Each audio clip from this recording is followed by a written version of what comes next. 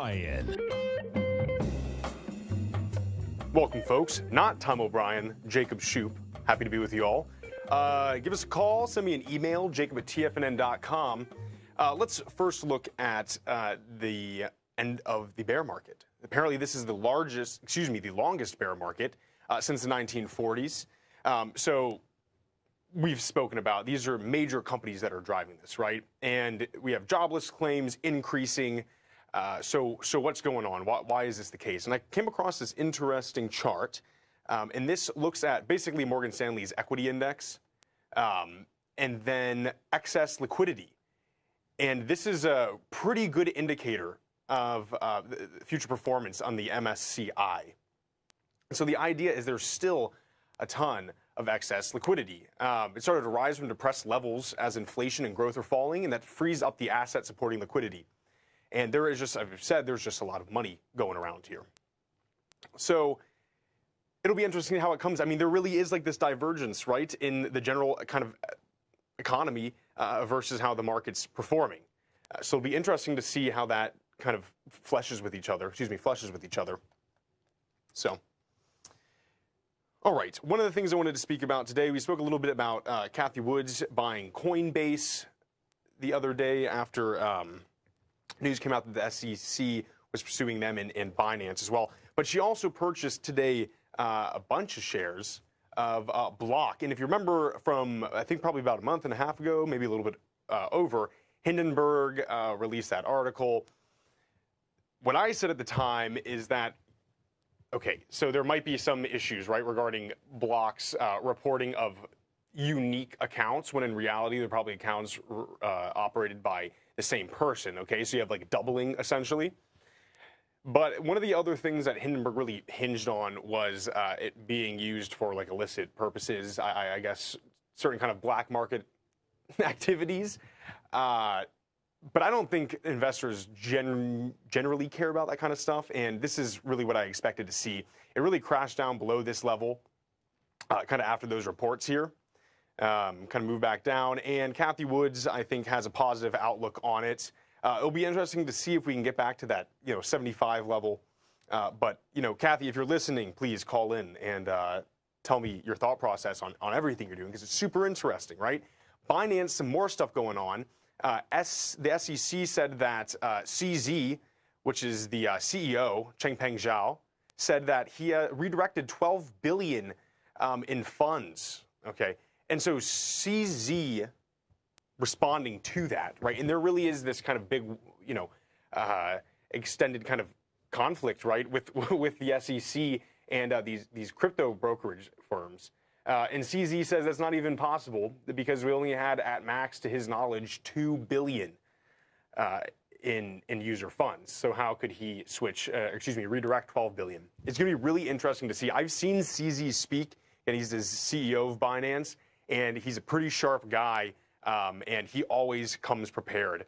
Um, I'm sure we'll have some kind of hearings about this in the future, and that will be something super important to watch. But again. Um, going back to Coinbase, you know, Cathie Woods purchased 21 million. Um, so, and she's still sticking with that one million dollar valuation for Bitcoin, which is, you know, a pretty big off of what we're at currently. So, Palantir. Again, we were speaking about a little while ago.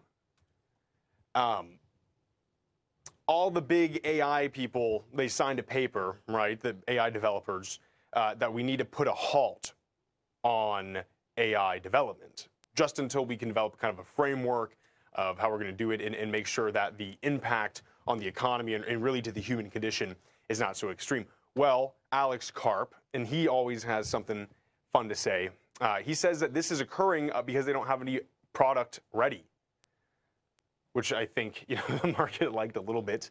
Um, Palantir essentially is going to start providing AI to the military, um, if, and they are already. Uh, but this is going to just get far, far more complex. And I, I was trying to find it for you guys, but I, I just couldn't locate it online, uh, or excuse me, on YouTube. Uh, but it was this uh, kind of mock battle that they were doing, the military, and they were using, uh, you know, drone footage and connecting it up to an AI, gave the AI the kind of information um, of, of force size, what the capabilities are of the uh, attacking force, which was supposed to represent uh, the U.S. And the AI came out with three or four plans of how they were going to go ahead and approach um, this certain target.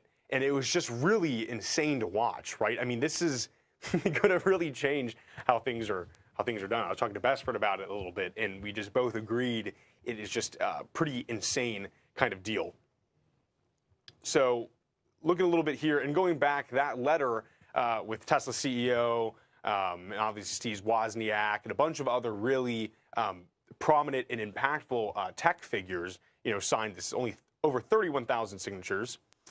Um, Karp said uh, people have nothing to offer when to study AI, uh, but by taking a pause, this could lead to adversaries stealing a lead and not only commercial applications, uh, but also military applications. Uh, it says to him, studying this and allowing other people to win both on commercial areas and on the battlefield battlefield is a quote really bad strategy, right? And this puts us as a society, you know, in a pretty difficult spot. I don't think that analysis is is really wrong, right? And he likens it essentially to the Cold War arms race, which I also think is probably a pretty like apt parallel, right?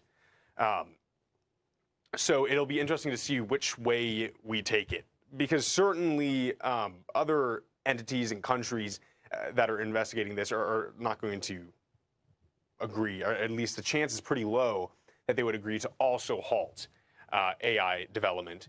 So Palantir's angle is like, no, let's just chug full force ahead. And we'll see. This will probably be decent um, uh, for for their equity, but uh, you know we'll wait to see. So. Tesla, which is really pumping us up today, and we're about to go on break, so we'll get back to it. But uh, GM is going to use their charging network, uh, and that's going to join Ford in leveraging the EV leader's tech. And this is huge. One of the things, and again, we'll talk a little bit more about it when we get back. But uh, you know, when when the pot stocks were popping, everyone wanted to get in. Everything was so inflated price-wise, anyways. At least regarding those, you know, the value of that equity of those equities. Um, and the goal is, is you want to get into things that are kind of related, right? But you don't want to get uh, so into it. So looking at these kind of sub, subsidiaries, but kind of like secondary companies that will help prop up the EV market. Obviously, Tesla's taking it, right, with the charging stations. But it'd be interesting to look in the uh, market in general for uh, things that aren't directly related regarding production of EVs, um, but help support them. Folks, stay tuned. We'll be right back.